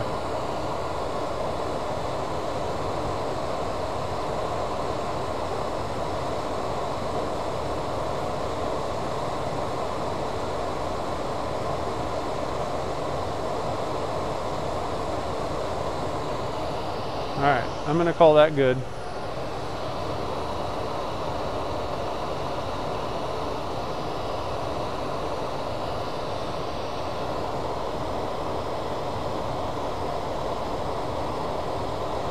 Yeah, buffing wheels. Um, they make buffing pads too, though. That's another way you can go. Um, you know, with like similarly, it's a similar way to go with buffing pads on on like a hook and loop. Um, I it's kind of nice though, you know, it, like really you can do a lot of stuff with, you know, and you don't have to buy necessarily expensive, you know, wheels or any of that stuff. Doesn't have to be like super expensive. You can get just, you know, a buffing wheel for Tripoli, get one for white diamond, and then maybe get one that's like a super high, like soft wheel for um, for like a polish even. Another thing you can do is Dremels have a lot of stuff. I'm gonna go get a face mask. I don't like breathing buffing dust. It's a it's an abrasive, so you know, I don't think it's much better for you than sanding dust. All right, I don't think this light batteries. Yeah, I didn't think so. Turn this down. So the first wheel that I'm going to use is Tripoly, T-R-I-P-O-L-Y.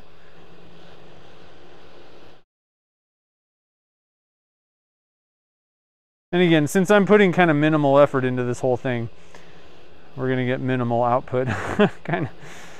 But it should look okay. It'll be a lot better than it was originally.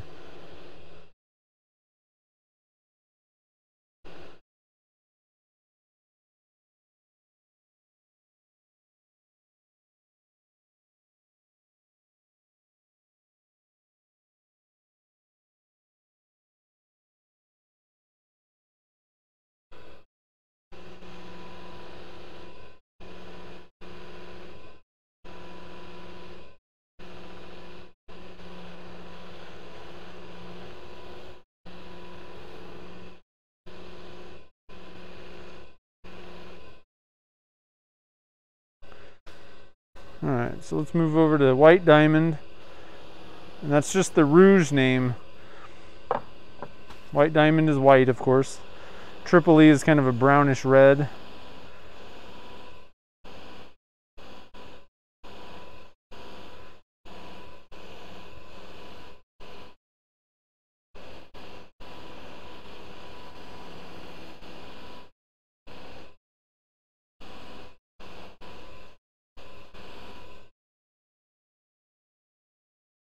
All right, that's not too bad.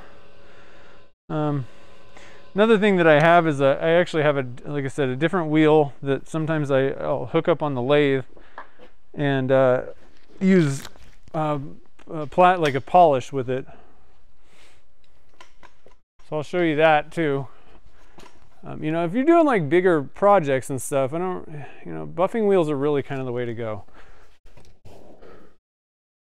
Uh, but I got this, this wheel is super soft. It's, it's actually called a string buff. It's a little bit different than your typical buffing wheel. So that's what I use with polishes, like this, so like a super high grit level or whatever. Uh, what do I, what's going on here? I'm missing a cap to one of my magic juices. That's not good. Here we go. Got that. Let's get this water out of the way. And so, you know, if you already have buffing wheels and you want to get a little bit higher gloss on things, then you can just grab, uh, you know, one more wheel and use um, like a like a you know plastic polish or, or some sort of a car polish. I like this this 105 um, Meguiar's. Um, a lot of people really like the PlastX from Meguiar's as well. Um, so there's there's lots of different ways that you can go. Um, what I do is I'm going to shake this up and then I actually apply it directly to the blank.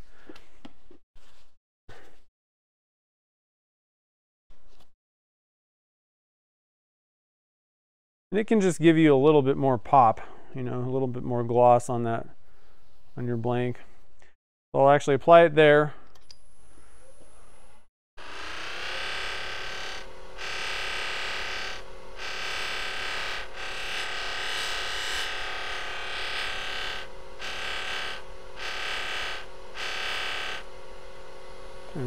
Not too bad.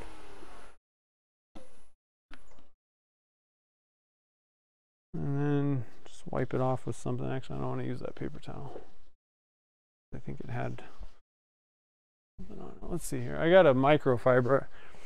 Not a bad idea to invest into, into uh, some sort of a microfiber to wipe things off.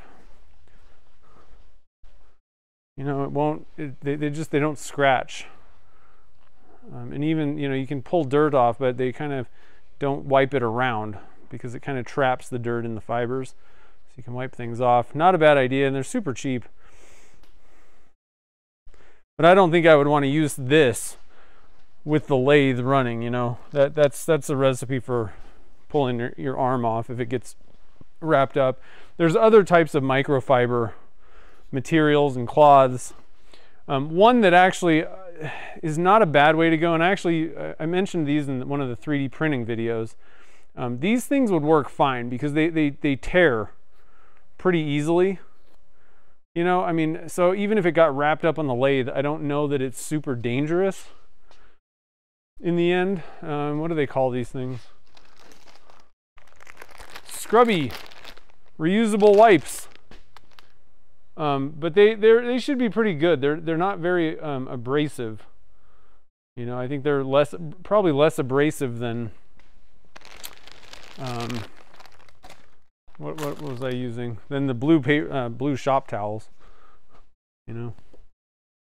All right, so let's let's get this thing assembled here, and so you guys can see what's going on with this awesome thing. All right, so here's our our whiskey stopper hardware.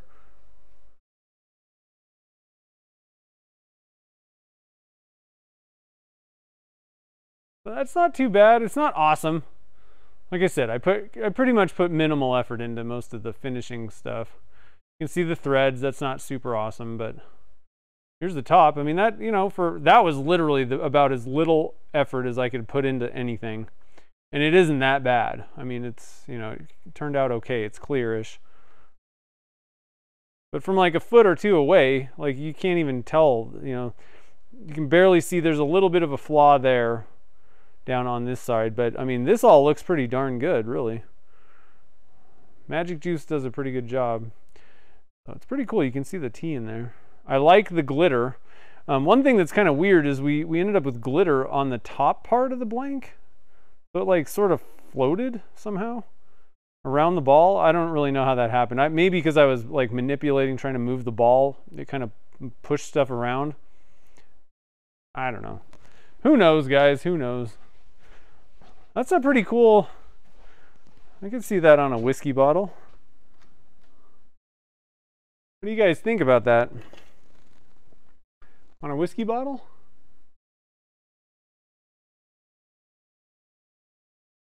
I've definitely had clearer blanks. So, and I, again, I think that might have to do with, you know, only going up to 220 is you don't really, it's just not as clear through, throughout the, the entire blank. Um, another thing that'll cause that is just not sanding particularly well, which I didn't, you know, really do uh, an amazing job sanding this. Um, but it'll it'll diminish the clarity that you get in the end, even if you put a finish on top. I think I don't know that it can fix it if the scratches are, are low enough um, grit. So who knows? Who knows? Yeah, I know. Ten foot. Well, we always we always laughed. It's a, it's a ten. There used to be a saying called a ten foot paint job, where it looked fine from ten feet away. It's it's like it's like a one foot. You know, that looks fine. I mean, the thing is, like again, until you like really hold this thing up into your face, if this was sitting on your on a you know whiskey bottle somewhere from across the room, nobody's gonna even know, and you're like, oh, that's a golf ball and a golf tee. You know, so a lot of times you can kind of get away. It just depends. It, it, depends on what what the deal is, but a lot of times you can kind of get away with not. It doesn't have to be. You know, this this is a pretty. This is pretty shoddy work, I would say. You know, I mean, I was like, whatever. I don't really care if this turns out perfect or not. Um, but you know, with a little bit more effort than what I put into this, um, you know, it would be fine. You know, you don't have to worry, you know, fret over every minor little detail on a project, nobody's even going to notice it for most, you know, for the most part. Let's see here. Yeah, so like I said, whiskey, it's a whiskey bottle.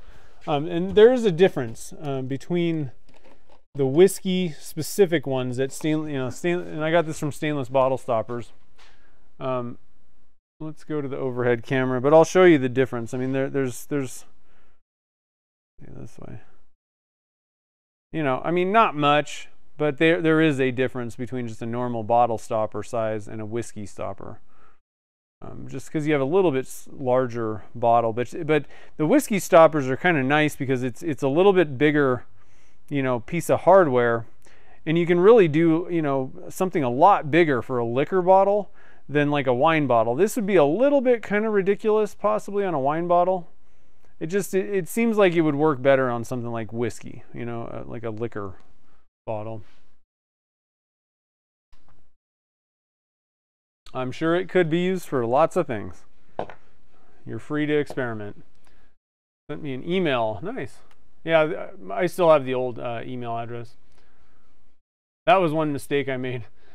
I was like, oh, I'll just because uh, I wanted to switch. I was using the like Google um, thing to like you know route mail, and uh, and I really hated having to deal with that. And then I didn't realize that I could I really can't get rid of that necessarily. Um, so I was like, oh, whoops.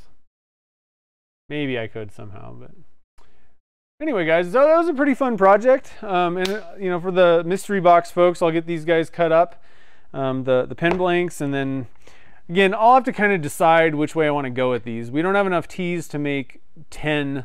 You know, like not everybody was going to get a handle size, but I could make one more blank and get everybody some tees in a stopper size, which I'm kind of in my mind, I'm kind of leaning towards doing that now. Um, so we'll, we'll have to see. It'll be a mystery. You guys will have to wait and see. Um, I'm pretty excited though. So I, uh, you know, at the beginning of the show, I was saying that I, am working on the raffle ticket bowl. That's actually getting very close to to, to being kind of pretty much finished up now. Uh, and I'm pretty much wrapped up on the mystery box from Turner's Warehouse, that project. And that one I think you guys are really going to enjoy. Um, I had a blast making that thing, and I think the video is going to be like a, a it's going to be different. I think it's something where you know, you guys can kind of see the progress of, of this project where I didn't really know what was going on from the beginning. It wasn't like I'm like, oh, I'm going to set out to make a, you know, whiskey stopper and, uh, you know, here's how the project goes. It's like, I don't know what I'm doing, period. Um, and so you have to kind of follow along with, you know, what, what do I do with all this stuff? So it's pretty, I think it'll be pretty cool. I don't know. Oh yeah, olive oil, that'd be cool. Yeah. Cool. So yeah, so those videos will be coming out um, as soon as I can get everything edited. I have actually been editing along the way with the mystery box. That'll be the first video that comes, and it's just going to be a regular video, um, both of these. Um, so that'll be the first one that, that pops up. Um, I'm I, honestly, I'm really hoping I can get that thing done and posted next week. Sometimes, it, uh, sometime it may not be on Sunday this this you know week, but it, we'll see when I can actually get everything done. And then the raffle ticket bowl should be like the next week after that, possibly. So lots of fun stuff going on in the shop right now. So I don't see any questions or anything like that. So I think we'll wrap things up, guys. So, uh, oh, uh, next week I'm debating um, because I need to get editing done on these videos and all that kind of stuff. I may take next week off from live streams. Okay, so just a, a, like a heads up. Um, we'll see about Wednesday and Saturday next week. Um, just I, I, I, really I, I got a lot of orders and I'm trying to fill you know inventory again. So I just just tentatively um, be watching for that. And I'll, I'll try to let you guys know on YouTube and on um, like Instagram and Facebook. All right. So just a little you know heads up on that one. But anyway I hope you guys have a great evening. Thank you all for joining the fun today. And I will see you guys all on the next live stream